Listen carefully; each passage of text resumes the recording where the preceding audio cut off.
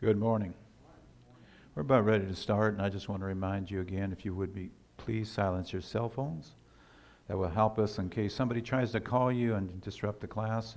If you need to use your cell phone, just please you go to the back, use the run the restrooms. If your men's are on the left, ladies on the right, or if you can want, you can go outside.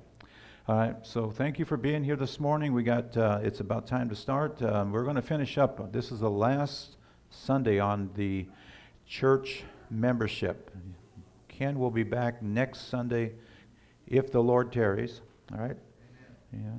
Um, he'll be back next Sunday, and we'll be back in First John. He'll be finishing up on First John. Praise God. Amen. Let's open with a word of prayer this morning, shall we? Heavenly Father, we come to you and say thank you for giving us your word. Your word is truth. It's the only truth that we need to seek. And Lord, we thank you that from your word you can lead and guide us in all truth. And as you said, Lord, that we will know the truth and the truth will set us free. We want to be a church that proclaims not only the, the one true gospel, but we want to have our theology right. As we live in a time when there are so many churches that are false doctrines and false prophets and teachers. We certainly do not want to join their ranks. We want to be a remnant church that proclaims the truth and help people to come to the knowledge of truth by rightly dividing the word of God. We thank you today. Now, Lord, Holy Spirit, you teach us, you guide us. You be the teacher. And let everything that's said and done glorify you. In Jesus' name, amen. Well, we, we kind of started off on uh, what this church was about and, you know, and why be a church member. And we went from that to our, our um, resolutions, and our resolutions reflect the doctrines that we teach. And then last week we started on our fundamental doctrines, the essentials of the faith. And those are very important because if you don't have a faith, what good is it, right? Okay? So uh, when I say core doctrines, if you can go to um, the next slide, the Abundant Life Fellowship has 16 core doctrines, and those core doctrines are the absolute truths that we hold to. Okay, they're not debatable. They, we hold to them. And it's not something that we come up with. God came up with them, and the early church taught it. And so we're going to teach it here continuously. And I said that uh, these teachings are going to show up in our messages. They're going to show up in our Bible studies. They're going to show up uh, in our uh, edification of one another. They're, they're going to be showing up in our devotion and our prayer times. And that's why you need to know them. And once again, it's so important uh, as we earnestly contend for the faith.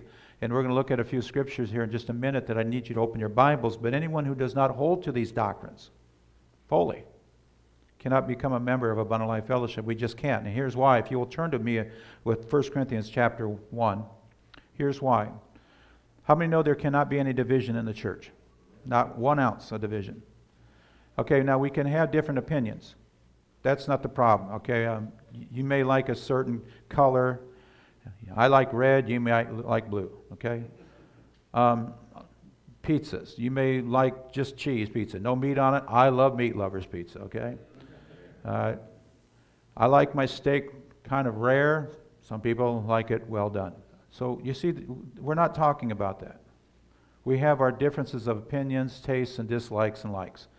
That's not what's important. What's important is that we stand firm on what we believe. And that's what Paul was dealing with here in the church of Corinth. There was a lot of division going on, and the main problem was they weren't standing true to God's word. Now let's look at this passage of scripture in 1 Corinthians 1.10. It's not up here, so you're going to have to turn to your Bibles. We're going to look at 1 Corinthians 1.10, then we're going to look at Mark's Gospel, chapter 2. And then we're going to look at Jude book of Jude. Once again, I'm asking you to please turn in your Bibles to these. I'll read them. Now, Paul says in 1 Corinthians 1.10, Now I plead with you, brethren. Brethren always means what? Church.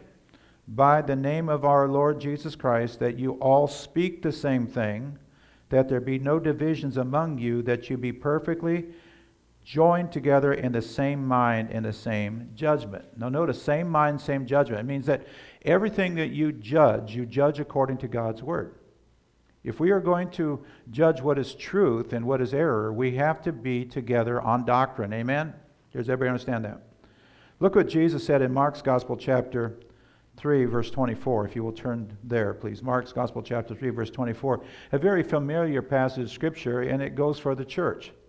At this time, the Pharisees were claiming that Jesus was Satan, yet Jesus was doing nothing but exposing Satan. And Jesus said in, in Mark's Gospel, chapter 3, verse 24 If a kingdom is divided against itself, that kingdom cannot stand. If a house is divided against itself, that house cannot stand. It's the same with the church. We cannot be divided.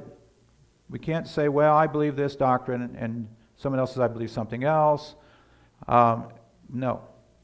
When we have to go to scriptures and clearly understand what the scriptures teach. Please go with me, if you can, to Jude. Way back, Jude, right after 3 John. Jude is the half brother of Jesus, and look what he says in verse 3. Everybody there? Jude. There are no chapters in Jude. There's, there's one chapter, if you want to put it that way. So it's Jude 3. Beloved, while I was diligent to write to you concerning our common salvation. Notice Jude says, our common salvation. That means we're all in the same boat when it, concerning salvation. Remember, we talked about that last week. What do we believe about salvation? How are we saved? We're saved by God's grace alone, through faith alone, through Christ alone. Amen. Okay? Not, not by works. Right? Good works follow salvation. Right? I've often said the fruit of the Spirit, which is good works, is, is, is not the root of salvation. Christ is the root. But the fruit of salvation is the, is the good works. So if you think you can earn your salvation, you're not going to earn it, and you're going to spend eternity uh, in, in eternal death and hell because that, there are a lot of this, these teachings coming up again. Uh, they're called uh, Sabbatarian teachings. You got to worship on Saturday. You got to keep the law. You got to do this and that. Of course, we want to honor God and do what's right in God's eyes. But if you think that's going to add to your salvation, you're sadly mistaken because the Bible says we are saved by grace and grace alone. Okay? And so, what Jude is speaking about here, he says, I, I, I write to you to, uh, concerning your common salvation, I found it necessary to write exhorting you to what? Contend earnestly for the faith. Contend means to protect it, to stand firm in it, and don't let anything move you away, okay? Because it's the faith which was once and for all delivered to the saints. Does everybody see that? All right, so does anybody have any questions on that? So, what we're going to be looking at is the remainder of the 16 core doctrines that we hold to this morning. Uh, last week we kind of run into an issue because um, one of those was out of place and we were missing one, and I found it. So let's go back and pick up with uh, a, a number nine. Um, this is a little, bit, a, a little bit of a review. And once again, if you have your Bibles with you, please, um, let's um, read them. I'll pass the mic around. It'll help me out. The New Testament church, which we are, started on the day of Pentecost. How many know that? When the Holy Spirit came upon the believers. Jesus said it's the ecclesia, the called out ones. Upon this rock, Jesus said, my church will be built. The rock of Jesus, the truth of God's word. Is made up of true believers in Christ. When I say true believers, I'm people who have repented of their sins and believe that Jesus Christ is the only Savior and Lord. We talked about that last week. Jesus is the only way. There are no other way. He's the only means for salvation. It's made up of true believers birthed on the day of Pentecost and will be dis- discontinued at the rapture and has been given the command by Jesus to preach the gospel and make disciples of all nations. Now, we talked about that last week a little bit. I want to just go ahead and tell you again the, the purpose of Abundant Life Fellowship is to preach the gospel, and make disciples. That's what this church is all about. We're not here to put on a bunch of programs. Some programs are nice, you know. But what good is our faith if we're not sharing it with the lost? Think about it. What good is it if you believe in Jesus but you never tell anybody who Jesus is? The Bible says we are to be witnesses. Acts chapter 1, verse 8. The Word of God clearly teaches that when the Holy Spirit came upon you, Jesus said, when the Holy Spirit comes upon you, ye shall be my witnesses. Where? First in Jerusalem. That's where the church was birthed. On the day of Pentecost. First in Jerusalem, then where? Then Judea. Spreading out. The gospel's being spread out. The church is growing. Then Samaria. then the uttermost parts of the earth. Well, Ocala, Florida is in the uttermost parts of the earth, okay? All right, you can't go much farther south. We can go a little farther south, but we are to be witnesses in this area, proclaiming the gospel of Jesus Christ, not telling people to come to Jesus to get rich, as all these false word of faith churches are teaching. Come to Jesus to get saved. Why? Because Jesus didn't suffer and die on that cross. He didn't drink in God's wrath for you and I to be blessed and live a blessed life. Because I got news for you. Most Christians in the world do not live a what we call a financially blessed life. See, in America, we can believe that, but here, uh, you go look at what, how Christians are living in countries such as, think about it, North Korea. There are Christians in North Korea. And if they're even caught worshiping the Lord, they'll kill them. How rich do you think they are? How blessed do you think they are to have they have the, the best of life. No, but they, they, they put American Christians to shame. What about the Christians in, in places like China? Think about them tonight, today. What about the Christians in places, you know, like um, uh, Iran, Iraq? You know, that, that, that's a predominantly Islamic countries. So the, the purpose of the church is to preach the gospel and to make disciples. That's so clearly uh, taught. Let's look at this again Matthew 28 19 20. Go therefore and make disciples of all nations. That's what Jesus told them. This is right before he ascended into heaven, right before he was taken up. He says, Now that I have taught you for three and a half years, go and wait in Jerusalem to be endued with power from on high. The Holy Spirit will come upon you. He will empower you to go and make disciples. And they did that. They did that. They were preaching the gospel every day from the time that the Holy Spirit came upon them. Peter was the first one to preach the message, so clearly detailed in Acts chapter 2. Are you with me today? And all of them preached, and that's why the, the, the Christianity grew. It, it, spread throughout Israel into Asia Minor and even into Europe. But uh, Satan corrupted it later. But see, go therefore and make disciples of all nations. Well, how, how many know America is part of that, right? baptizing them in the name of the Father and the Son and the Holy Spirit, teaching them to observe all things I have commanded you. Jesus said, teaching them things that I have commanded you, and lo, I'm with you always, even to the end of the age. That means I'm with you by the Holy Spirit, right? So that's a little bit of just a little bit of a review on that because I want you to realize what our church is about. We're going to follow that here, and it has been difficult. I could preach an hour on this because when I became the pastor here, the church here wanted to be a, a um, charismatic, let's just have a, a party church. And, you know, and, and, you know, just whoop it up here and go outside and do nothing for the rest of the week. What good is your faith? See, brother and sister, that's what I'm trying to, trying to get across to you. What good is it if you can sh- jump and shout in church and yell amen and hallelujah, but no one out there in the world knows you are even a believer? That to me is it's, it's, it's, it's almost like you're mocking God. People around you should know who, where you stand. They may not like it, and they may even co- confront you. They may even treat you bad for being a Christian. Did Jesus promise you that would happen? Did Jesus promise you that would happen? Can I get an amen? Yeah. He said the world's going to hate you. If the world hated me, they're going to hate you. But that's not what we're concerned about. We're concerned about if we can plant the seeds of the gospel, that the gospel would get into the hearts of someone somewhere. And eventually, by the power of the Holy Spirit, that seed will take root and they'll become saved. Amen. All right? So don't ever worry about, oh, well, I told someone about Jesus and they rejected me. Well, you told them, maybe they, later on they will receive. How many of you are like me? I had to hear it several times before it finally got in. Yeah. Mm-hmm. So don't ever think that just because they don't receive you doesn't mean they won't li- later. So you, we want to be a witnessing church. We want to be a, a disciple making church.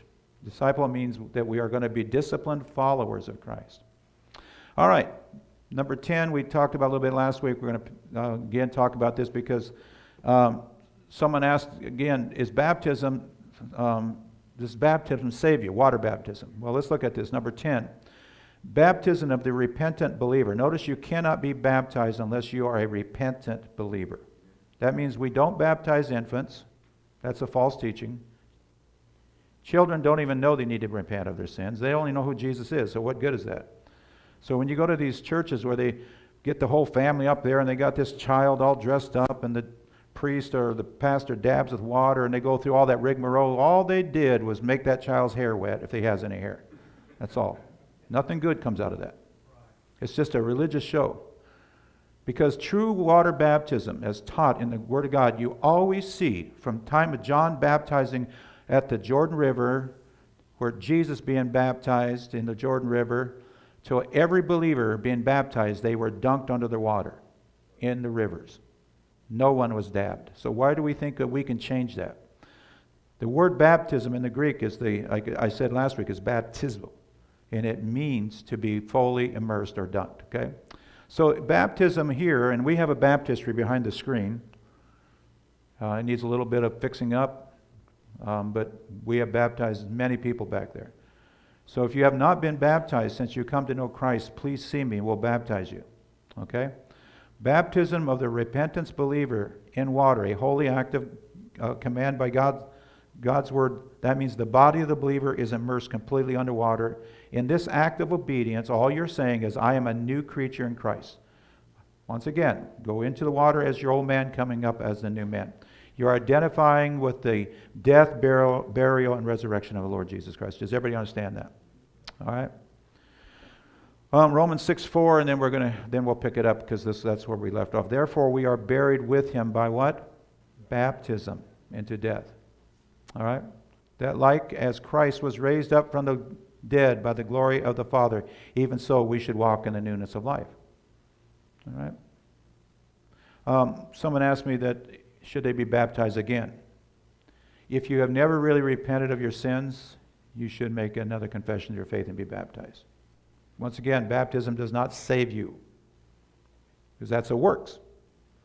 But you got some churches that teach you, oh, if you're not saved or baptized, you're not saved. No, no, no, no, no. The Bible says, clearly teaches. Now, they take Mark 16, 15 out of context. Ken, do you have that, Mark 16, 15? Yeah. Uh, I had an individual, uh, one of these um, old time Pentecostals, they, they, they, believe that, that you've got to be baptized. If you're not baptized, you're going right to hell. Um, so they say you get saved. I, I try to talk to them. Say you got saved on a Saturday night and you're on your way to be baptized on Sunday morning and you get in a, killed in a car wreck is God going to send you to hell? No. Right. No. All right. All right. Uh, Mark 16, 15 says. You need to turn yellow up, please. Uh, Mark 16, 15. And he said unto them, Go ye and all to, and, excuse me, go ye into all the world and preach the gospel to every creature. Mm-hmm. He who believes and is baptized shall be saved, but he who believes not shall be, da- shall be damned. Okay. So notice Jesus said, He who believes not. He didn't say, He who believes not or is not baptized is condemned. So, of course, we should be baptized. It, it's one of the ordinances that Christ gave. It's a very important ordinance, and we take it very serious here. But once again, it's not for salvation, it is after salvation. Does everybody understand that? Okay? And how many of you here have been baptized by immersion? All right. You, if you haven't, you need to be, okay? All right, just want to let you know that. Okay, so now let's pick it up. Um, last week we, we practiced this. The Lord's Memorial, commonly called the Holy Communion, is to be practiced by all believers continually as a time to remember and reflect upon Christ's sacrificial suffering and death for our sins, as well as a time to examine one's faith in light of his soon return. Now, I t- touched on a little bit, but I want to, the reason why I'm repeating is this is very important. Abundant Life Fellowship is a church that preaches holiness, righteousness, and repentance. I'm going to say it again because I think some of you might have missed it. We are a church that preaches holiness, righteousness, and repentance. When we say holiness, we're not talking about we are to live perfect because that's what a lot of people believe. Oh, you're one of them, that you believe everybody can't make a mistake. No, we're not saying that at all. You're saying that no one can live in sin or have sin. Listen, you can fall into sin, but you're not to live in sin, right? Holiness simply means that you're separating yourself from this wicked world. That's all it means. God is separate from the world. We need to be separate. We live in this world, but we're not to act like the world, right? So every time we do communion here, now some churches do it maybe once every six months, um, some may do it every week. It, the, the, important part is what are you doing when you're taking Holy Communion? You're, re, you're remembering the bride price that Christ paid you understood what that whole cup was, the cup of, that was set before the bride. What was that? That was to say, Do you accept what I've done for you? It was a way of saying, I, Jesus, I paid the price for your sins. And by drinking this cup, you are acknowledging my death and my soon return. You're saying, I fully agree with what Jesus did on the cross. And that's why Paul said, every time you eat this bread and you drink this cup, you shew forth the Lord's death until he returns, right? Let's look at that again in 1 Corinthians chapter 11. And um, verse 26 For whenever you eat this bread and drink this cup, you proclaim the Lord's death until he comes. That's all. You're saying, I am proclaiming, I am believe that Christ suffered for me. The bread represents the broken body. Christ gave his body. He was a he gave himself to be a sacrifice. The the cup, the juice, represents his shed blood. Without the shedding of blood, there is no forgiveness of sins. All right? So we practice that here. Now, there's an issue that I uh, faced a few times as a pastor over the years.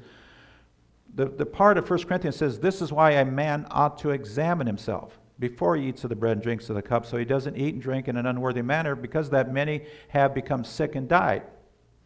What is Paul referring to there? He's talking about if you willfully practice sin, you bring judgment upon your body. You know, people who live, live willfully in sin, you know, who, who, who are doing things that are improper, are going to be uh, at risk of dying. Okay, think about it. If you're out drinking, doing drugs, or doing whatever, um, sleeping around, you can get some kind of sexually transmitted disease. Paul is just saying here listen, when you look at that cup and you look at that bread, you, are, you need to examine your heart. That's why it's so important because every time we do, that's our call for repentance. And when I say repent, I'm not talking about, oh, I'm just sorry what I did last week, but I'm going to go back and do it again. It means I am turning away from it. And this is why the church is a mess in America. This is why we have these woke ministries rising up. This is why we have a social gospel, because there is no true repentance anymore. This is why we have pastors that are homosexual that are being ordained, and, and homosexual people are being married in, their, in churches when God's word strictly forbids of that, as we're going to see in just a few minutes. There's no true repentance. Okay? Amen? And, and, uh, I'll, and I'll comment on that in just a minute. Okay? So, does everybody understand that we're going to take Holy Communion here once a month? Some have asked, why don't we do it every week? Because we think once a month is sufficient. All right? We're not doing it like the early church did. We're not passing around a communion cup. That's why it's called communion. It's a communion cup. They drank out of the same cup. Okay? So they filled it up with wine. They said, drink, drink, drink, pass it around. Um, because of the, uh, the, situation with the pandemic, we even went to more sanitary means with the um, cellophane sealed cups and bread. It, the, the main thing is you understand it's not the actual emblem, it's what it represents, right? Okay, any questions? All right, here's the one we missed, and I just went ahead and added it at number 12. Are we ready? Sanctification. Here at Abundant Life Fellowship, we're going to look at a lot of scriptures on this one, so get your Bibles ready. This is why I need your Bibles ready. We believe that sanctification is progressive, not instantaneous. When I say instantaneous, I'm saying that God sees you as perfect when you are saved, instantaneous but the Holy Spirit cleans us up over time. Does everybody understand that? So, I mean, if you got saved yesterday, I got news for you. You're still going to struggle with the flesh for a while as the Lord cleans you up. I did. Anybody here, when you got saved, you were just totally sanctified and overnight? No. God begins to speak to your heart, and, and you know there are things that I be, had to, I wanted to give up. Some of the things I didn't want to, but over time, the Lord showed me why I needed to, right? And that's called sanctification, okay? God commands the believer to live a spirit filled life, a life of separation from the world, and the perfecting of holiness. Now, notice, in the fear of God. There's probably one of the big things that is missing in most of the church. There's no fear of God anymore. Fear of God doesn't mean you're scared to death of Him. You don't even want to approach Him. It means you have a, a right, a reverence for God you reverence him. You know that God has every right to cast you into hell. But yet, because of his love and his grace, he won't through Christ Jesus. That's the kind of respect we have to have for the Lord. Okay, you know what I mean? We don't treat him like he's our buddy buddy. We don't treat Jesus like he's our buddy buddy. He is God. Okay? I have a problem with these churches that they just make Jesus out to be this guy that, you know, I, you know, the Lord showed up and talked to me today and we had a cup of coffee and, you know, call him, yeah, call him daddy and all that. He is our heavenly father. Uh, God is. Jesus is the Son. All right, so Jesus is. So it's a life of separation from the world and the perfecting of holiness in the fear of God as an expression of our Christian faith. Once again, we go back to the Christian faith. What good is our faith if we don't live it? Right? We can agree to it all we want on Sunday, but what good is it if we don't live it Monday through Saturday? It's the expression of our Christian faith being complete and equipped for every good work. Now we talk about that a lot in this church out of 2 Timothy chapter 3, 16 and 17. What? All scripture is given by the inspiration of God is profitable for doctrine. There's your, your, your, your truths. And it's for reproving, that means rebuking, convicting, and instruction in righteousness. There for the equipping, for we may be complete, equipped. Well, you can't be equipped if you're not living a sanctified life. Okay? You're not going to be properly equipped. You're going to make yourself out to be a hypocrite, and I don't want to be a hypocrite, okay? All right, now this is clearly taught in Ephesians 4 11 through 32. But let's look at a few verses that teach us this, and then we're going to look at, I'm going to have you open your Bibles. 2 Corinthians 6 17. And I'm going to ask you to open there because let's look at all of that. 2 Corinthians 6 17. And we've got to get through all these, so we're going to go quick. Because we, we won't pick this up again next week. We've got to get through it. How many know the, the verse in 2 Corinthians chapter 6? And by the way, you've got to read all that, and also you've got to go to the 2 Corinthians 7 1, because that should be part of that. All right, who has it? 2 Corinthians chapter 6, 17 and following. I, I do, Pastor. Okay, go ahead and read it. Uh, 2 Corinthians 6 17 mm-hmm. says this Wherefore come out from among them, and be ye separate, saith the Lord, and touch not the unclean thing, and I will receive you and I will be a father unto you, and you shall be my sons and daughters, saith the Lord Almighty. Having therefore these promises, dearly beloved, let us cleanse ourselves from all filthiness of the flesh and spirit, perfecting holiness in the fear of God. Right there it says, what? Perfecting what? Holiness. And the what? In the fear of the in Lord. The fear of God. Fear of God. You see that?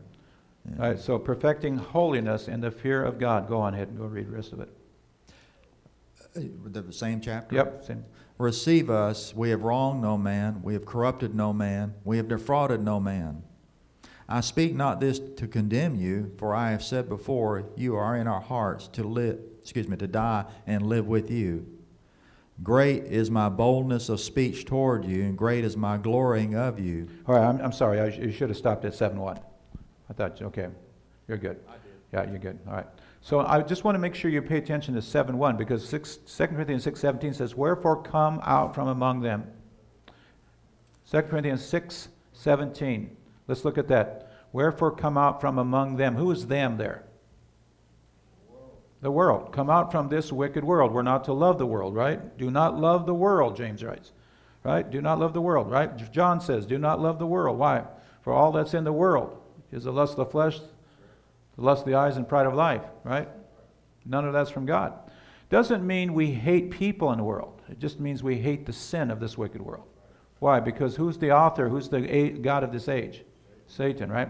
So come out from among them and separate, be separate, said the Lord, and touch no unclean thing. That means don't have anything to do with anything that God says is wicked or sinful. And then I will receive you. Notice that is a life of repentance. It doesn't say, I'll receive you, then go separate yourself from the world. God receives us after repentance, and that's so clearly taught. Draw nigh to God, and he will draw nigh to you, right? Repent, right? So we got to draw nigh to God through a heart of repentance. Does everybody see this? Let's look at 1 John 2 15 and 17.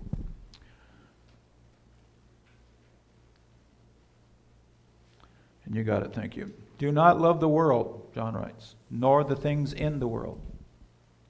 If anyone loves the world, now the word love there is the same word that is found in John 3:16, agapia.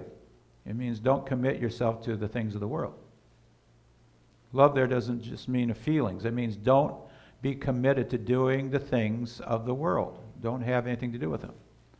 So do not love the world nor the things in the world. If anyone loves the world or is committed to doing things like the world, obviously the love of the Father is not in him. You can't have the Holy Spirit love of, uh, that leads us to holiness and righteousness and yet love the things of the world.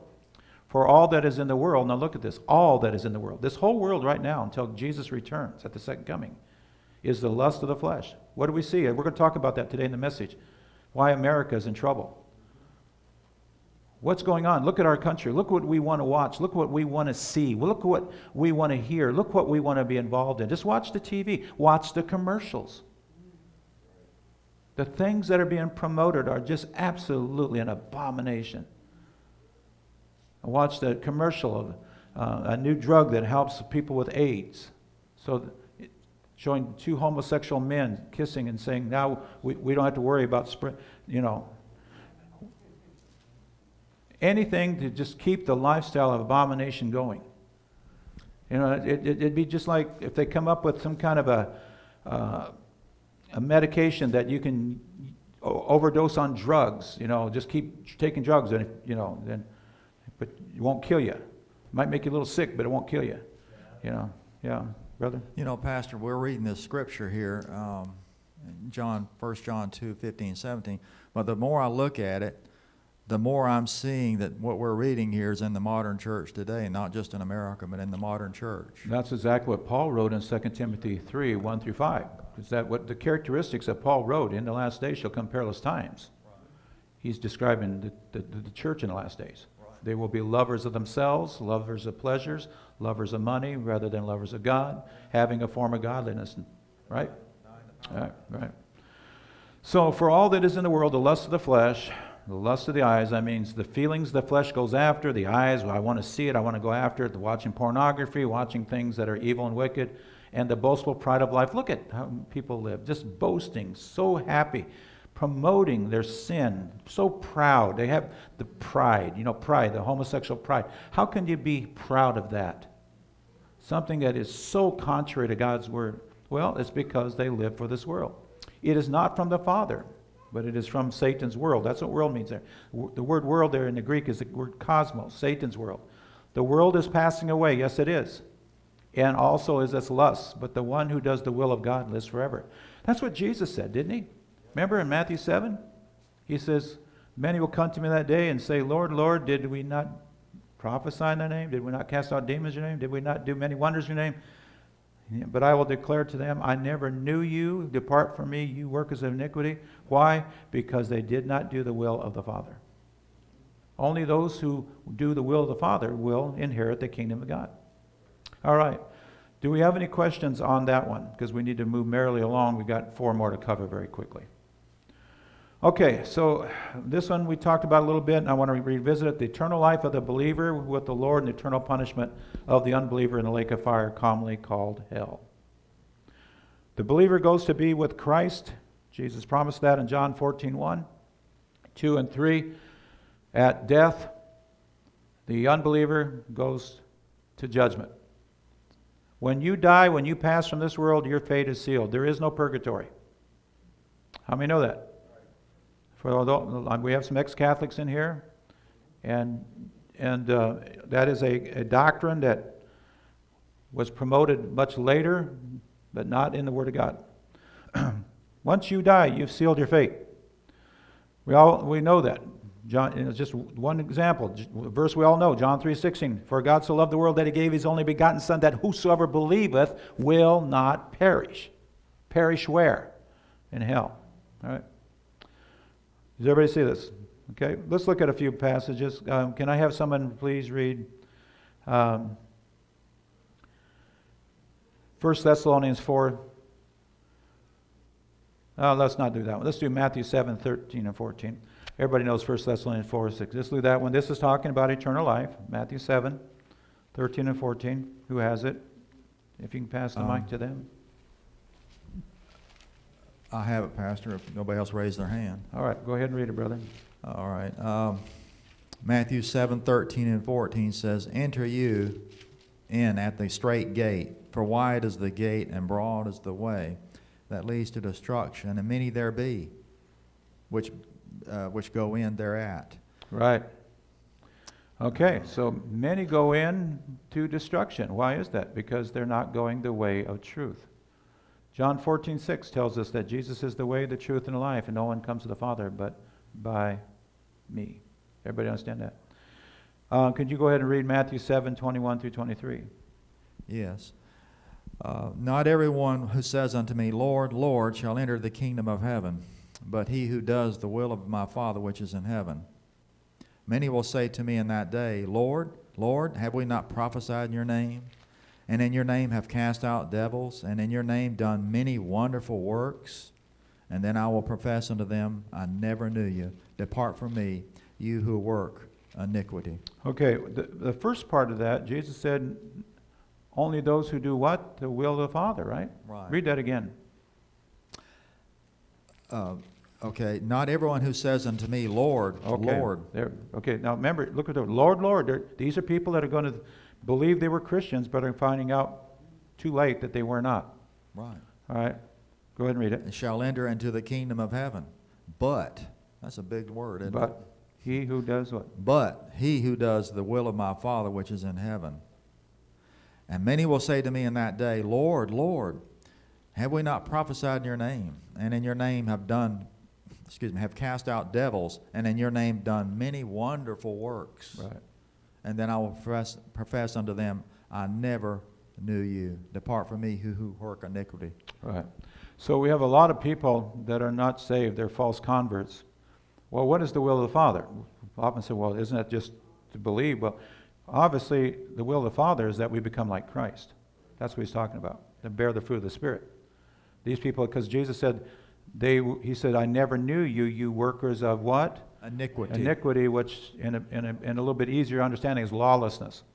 So there was no transformation. There was no Holy Spirit doing the transformation. There was no true repentance. They came to the foot of the cross, but they never went any further. Yeah. You could also include those who weren't preaching the true gospel. In that Oh yeah, group. that's what Jesus is referring to there. Right. Let me let's let's move on real quick. I want to let's go to 2 Thessalonians 1, 12. That 2 Thessalonians 1, 9 through 12. I'm going to read this. This is talking about eternal punishment. So we do believe in hell here. We teach it. Um, there's a lot of people say, I don't want to believe in it. Of course, it's a very, very horrible place, but it's, it's real. 2 Thessalonians uh, 1, 9.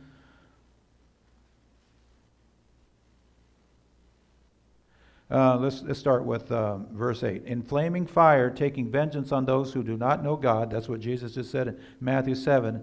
And on those who do not obey the gospel of our Lord Jesus Christ, which is to be truly saved. These shall be punished with what kind of destruction? Everlasting, destruction. Now, you're going you're to have these groups of people say, I, well, I believe God may send somebody to hell, but they're just going to be annihilated. Well, why does Jesus use the word everlasting then? Everlasting means forever. Everlasting punishment and destruction from the presence of the Lord and from the glory of his power when he comes in that day to be glorified in his saints, to be admired among all those who believe, because our testimony among you was believed. Okay? All right, so um, let's look at John 14, 1 to 3. We know this is a passage of scripture Jesus promised. Let not your heart be troubled. Ye believe in God, believe also in me. In my Father's house are many mansions. So, are there mansions in heaven? Yeah. Some people believe that Jesus is referring to the New Jerusalem. Doesn't matter. The fact is, they're somewhere, right? And that's talking about eternal life. If it were not so, I would have told you. I go to prepare a place for you, and I go to prepare, a, and if I go to prepare a place for you, I will come again and receive you unto myself, that where I am, there you may be also. So we teach that the believer, true believer, is going to home with Christ when, at death or rapture. All right. Now look at this, Revelation 20:15. And whosoever's name was not found written in the book of life was cast into the lake of fire. Is there a lake of fire? Yeah, that's called hell. Okay? Now, the, the story of the rich man, we're going to do this very soon. I'm going to do a whole teaching on this. It's not a story, it's not a, uh, like a parable. Jesus said there was a rich man and a man named Lazarus. It means this really happened. It's a little um, mis- uh, misleading because people, well, the rich man died went right into hell. No, he went into Hades.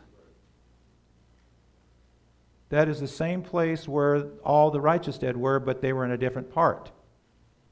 Okay? Now, this is, I don't want to confuse anybody, so I'm just going to quickly tell you. Jesus emptied that out when he went down and preached to the righteous dead. That's what it means in Ephesians 4. He took captivity captive. But all those people, like the rich man, Adolf Hitler, and all the, uh, the Pharisees, and all are still there waiting to be judged at the great white throne judgment. They're not in the lake of fire yet. They're in torment. They're in jail before prison. That's kind of what that means. All right? But I want you to know in this church, we're going to teach on hell. We're going to warn people of hell. It's not just a dirt, it's just not a, vulgar word that people use. It is a real place, and it's, and, and it's filling up. It's going to, the people that are going there, their names are filling up on the list. Number 14. We're gonna, we got to finish up real quick. The, the reality and personality of Satan, the enemy of our God and his church, through Satan's fallen and wicked world and his false religions, false teachings, false doctrines. We teach about Satan in this church. He's not a figment of someone's imagination. Today's modern church, sadly and tragically, has put the devil in the same basket as Santa Claus and the Easter Bunny. They don't talk about him. But he's a very real being, and he is the God of this age. We know that when he appeared to God in Job chapter 1, he told God, you know, God said, Have you considered my servant Job? What God allowed Satan to torment him. All right? The Bible says in John 10:10, 10, 10, the thief cometh not to steal and to kill and to destroy. That's his whole purpose. Kill, steal, kill, and destroy. Does everybody see that? Let's look at a couple of verses. Let's go to um, 2 Corinthians Uh, let's do this one, Ephesians 4.27. Can I get somebody besides Ken? Ephesians 4.27? And then we're going to quickly finish up.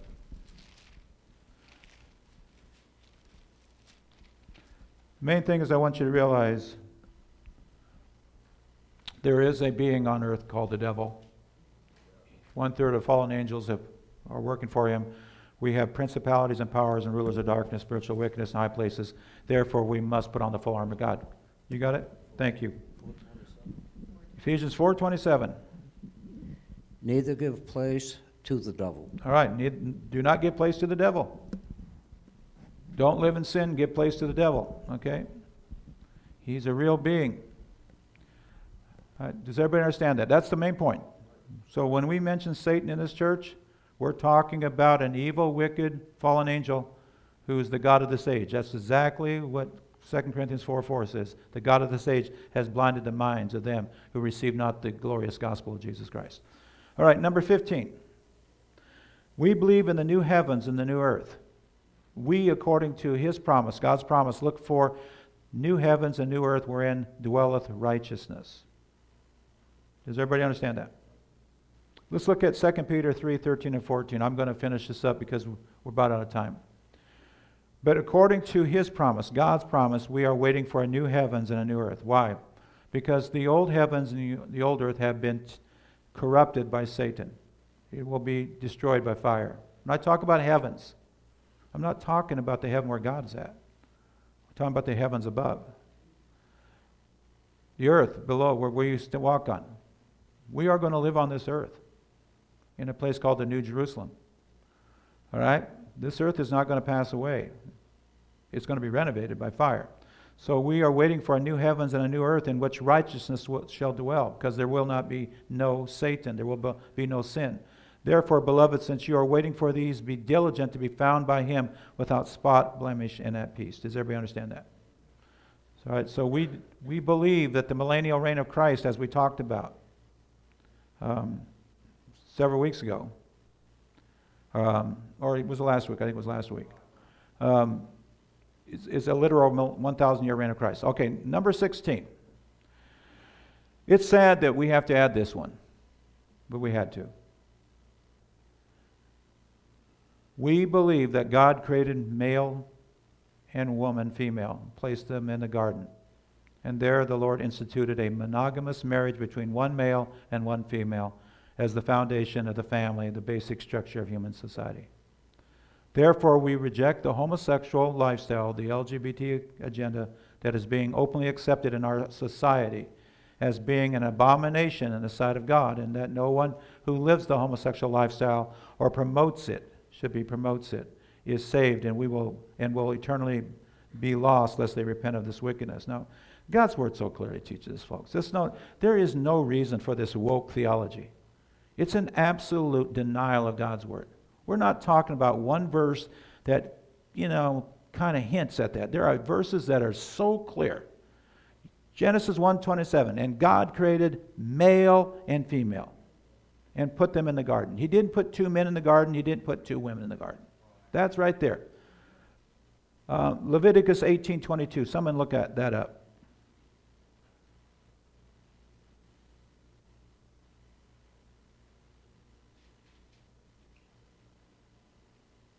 And then uh, I got it, Pastor. We're going to look at Romans 1:26 and 20 through 27 in the, in the message today. Go ahead. Leviticus 18:22. Uh, yeah, Leviticus eighteen twenty-two says, "You shall not lie with mankind as with womankind; it is an abomination." All right.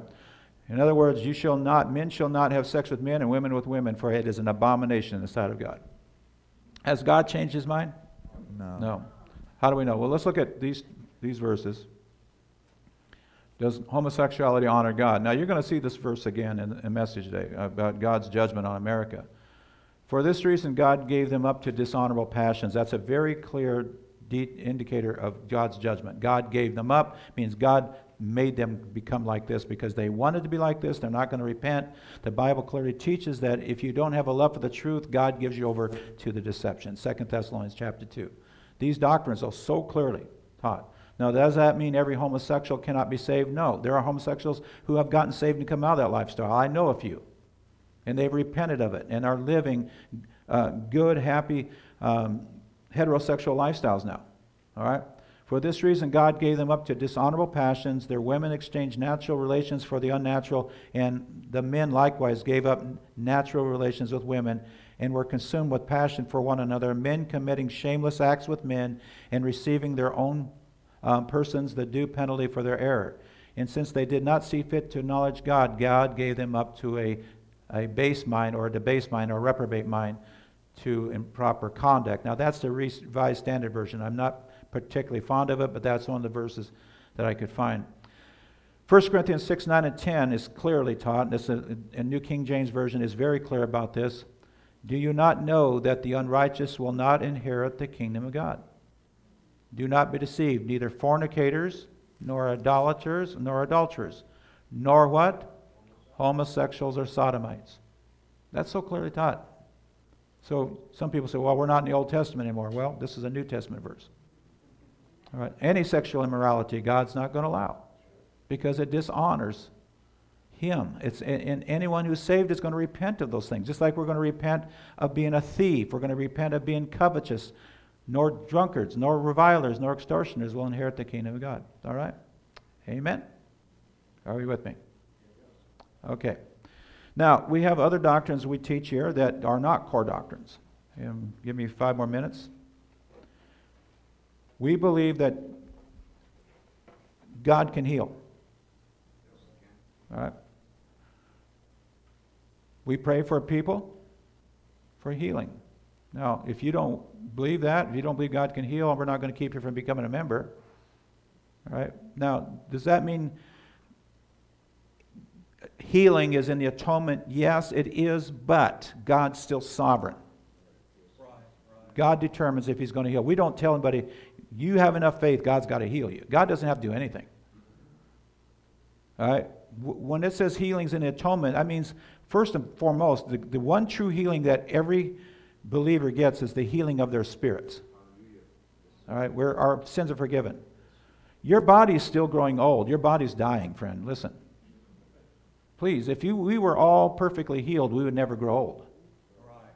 All right, so get that to your mind. And, you know, our eyesights are getting worse, wearing glasses, you know, gray hairs, wrinkles, weaker than we were when we were in our 20s and 30s.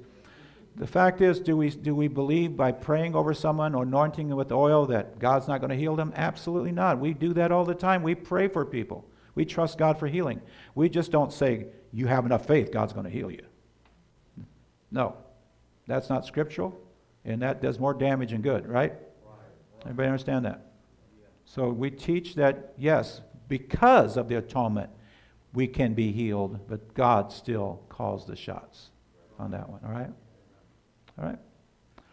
All right, let's look at another one, then we're going to stop. We also teach that in, in the uh, gifts of the Spirit, and uh, we're going to do a whole class on that, although we do not force it. I have seen the abuse of the gifts of the Spirit too much. Okay? But we need them in operation. Do we believe that gifts are still for today? Yes, we do. We don't believe they passed away. But I have seen churches abuse those things and they're not from God. I ask people to seek after the gifts. But uh, we don't come say, if you're not speaking in tongues, you're not saved. That's a bunch of baloney. Okay? Does everybody understand that? Ba- the true baptism we get is when we're saved. But should we seek these, these gifts, these ministry gifts? Yes, we should. And we should be very open to them. But once again, be careful because there's so many nonsensical teachings out there concerning these. And once again, this is not a core doctrine. I've had people in this church say, I, I, I really, I, I, I've never been filled with the, the Holy Spirit and spoken tongues. I said, not all speak with tongues. Okay, notice that. The Bible clearly teaches that. Do all speak in tongues? Paul said, no. So don't worry about it. Maybe God wants to give you the gift of wisdom, or the gift of, knowledge, or the gift of faith. Who knows? Just seek after the gifts that God will, will give you. It's His gifts to give you anyway, not ours to take. All right? And once again, that's not a core doctrine. If you don't believe in speaking in tongues, we're not going to keep you from coming a member. and, and we're not going to go around babbling all, all day in tongues, okay? Because that's an abuse. You know, we, I got to tell you the story before I get done. We had a, a, lady in our church years ago, and right in the middle, this was not here, this was when I was pastoring First Assembly of God in Iowa. Um, she had, it was her, her ministry to, right at the end of the, the message, to stand up and speak in tongues and interpret her own tongues and be very condescending. And she's one of these old Pentecostals with the tight bun and long dress and no makeup. And she believed any woman that wore pants was, uh, was a sinner. So, you, and I, I, she did that a few times, and then one time she stood up right in the middle of the, of the service, started right in the middle, right at the end of my message, and started speaking. And I said, "Stop! The Holy Spirit is a gentleman, and you are putting words in his mouth." And, oh, you would have thought I was. I said, "The Holy Spirit does not interrupt," and she didn't like it because she thought that, man, if I feel like giving a message in tongues and interpreting my own tongues, that was the time to do it. These are why there are abuses in these things. You see what I mean? Be very careful. She didn't like it. Her and her husband left the church. I'm sorry. But the Holy Spirit does not interrupt. Okay? Everything's done in decency and order. Does everybody understand that? Amen. All right, well, it's time to stop. Um, so if you agree with the doctrines that we teach, the core doctrines, you can become a member. And um, if you don't, please see me and I'll, and I'll explain some things. But once again, it's all about unity. Let's pray. Heavenly Father, we thank you again that you've been able to give us the truth of your word. We want to honor you with the truth of your word. We don't want to dishonor you and believe things that are false. And we certainly do not want to spread anything that's false. So everything that we want to teach in everything we want to um, proclaim as being a disciple making church, let it be fully 100% your will from your word so that we may glorify you and bring people to the saving grace as well as to walk in the faith daily. In Jesus' name we ask. Amen. Amen. We only